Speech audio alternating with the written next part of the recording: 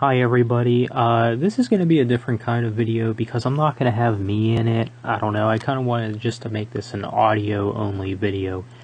But recently, Red has dropped a couple of their new songs from uh, their uh, upcoming album titled Gone, and wow.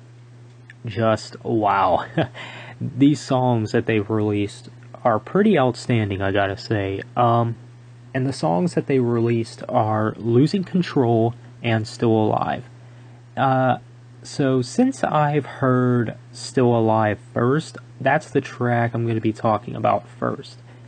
Okay, so this song I thought was really good. Um, my really only complaint with it is uh, it had uh, electronic elements in it, like uh, Release the Panic did.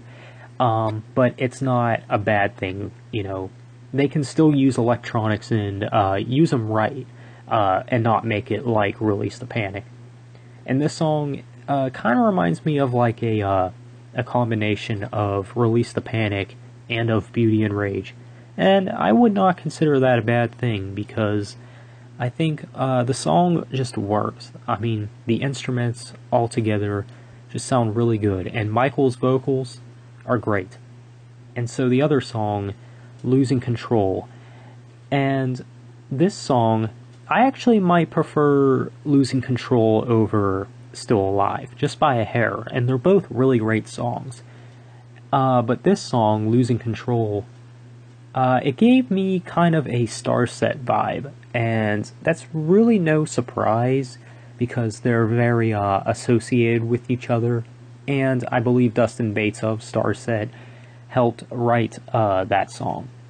And yeah, it gave me a kind of Starset vibe, and of course, uh, the vocal performance by Michael is excellent stuff. Uh, I think the vocals are better on Losing Control than, uh, what you call it, Still Alive.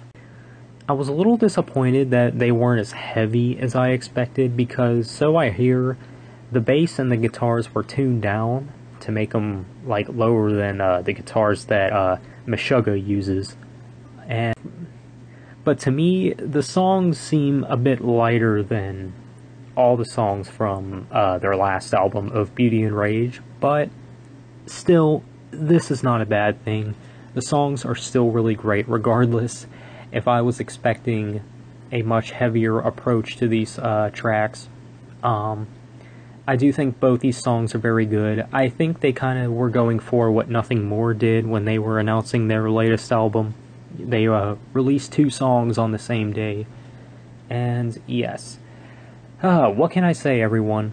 Both these songs by Red, Losing Control and Still Alive, they're very good. I will probably give Still Alive probably a an 8 out of 10 losing control, I'm going to have to give a 10 out of 10. So that'll be that. And what did you guys think of the songs? I think they were excellent. So be sure to leave a like, comment, and subscribe. And until next time, I'll see you later. And thanks for tuning in.